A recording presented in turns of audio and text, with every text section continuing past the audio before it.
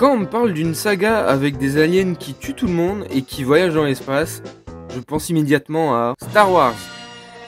Ah attendez, en fait, euh, on va pas parler de ça aujourd'hui. Car oui, pour certains, quand on leur parle d'une saga avec des extraterrestres, immédiatement ils pensent à Alien.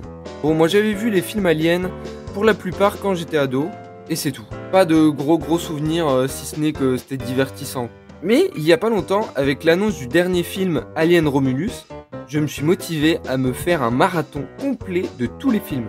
Bon, euh, pas les Alien euh, vs Predator, car euh, bah, c'était pas ouf et même pas canon dans le lore. Mais bref, j'ai rematé tous les films Alien et maintenant que c'est bien frais dans ma tête et que j'ai appris que j'aimais certains des films de la saga, il est temps pour moi de vous parler de l'une des créatures les plus cool du cinéma. Avant de vous expliquer quoi que ce soit, ce petit marathon m'a motivé à en faire un Lego custom.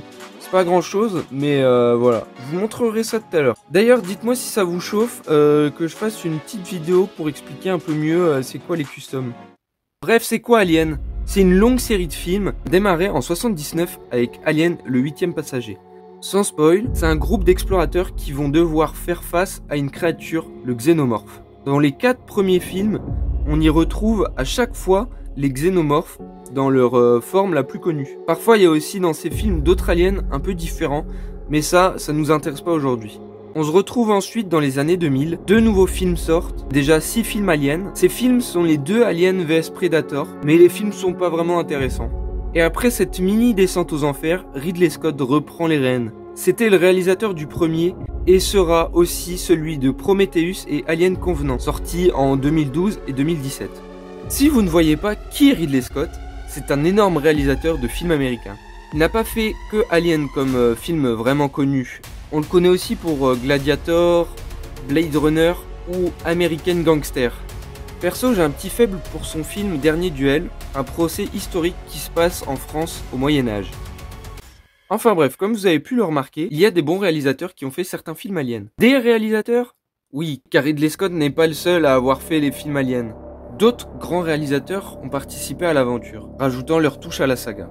Le deuxième film, Alien avec un S, est réalisé par James Cameron, le mec derrière les films euh, Avatar, Titanic, Terminator et euh, Point Break. Allez voir Point Break, il est vraiment incroyable ce film. Ça parle euh, d'un groupe de surfeurs qui braquent des banques et c'est super. Bref, on continue avec Alien 3 ou Alien au cube si vous êtes chiant. Là, c'est David Fincher qui le réalise.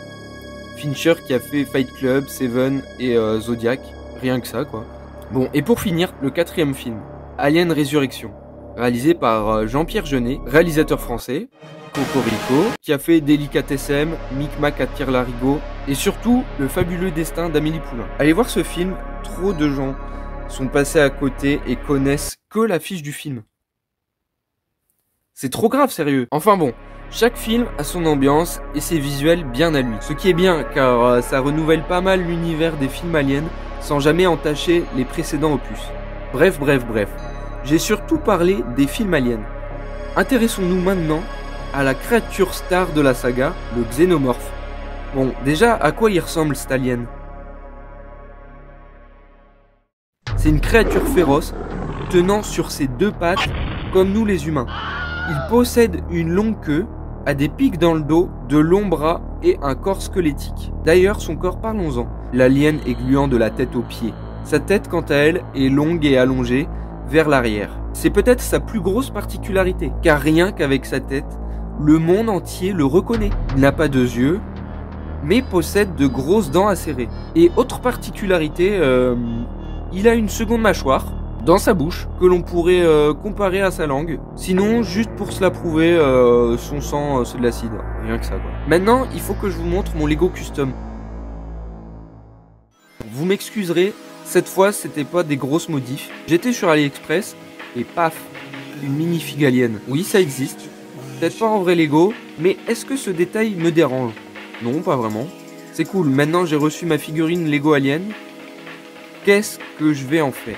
Très vite, j'ai eu une petite idée, prendre du vernis liquide et l'appliquer sur la figue. C'est ce qui va donner euh, cet aspect brillant et visqueux qu'on avait vu tout à l'heure et que j'avais pas sur le Lego. Voilà, maintenant qu'est-ce qu'on fait d'autre? Rien. Ah si, un petit socle euh, pour le mettre en scène. Comme ça, c'est une justification de plus pour faire une vidéo. Et pour ceux qui me demandent, oui, euh, j'ai utilisé du vernis à ongles.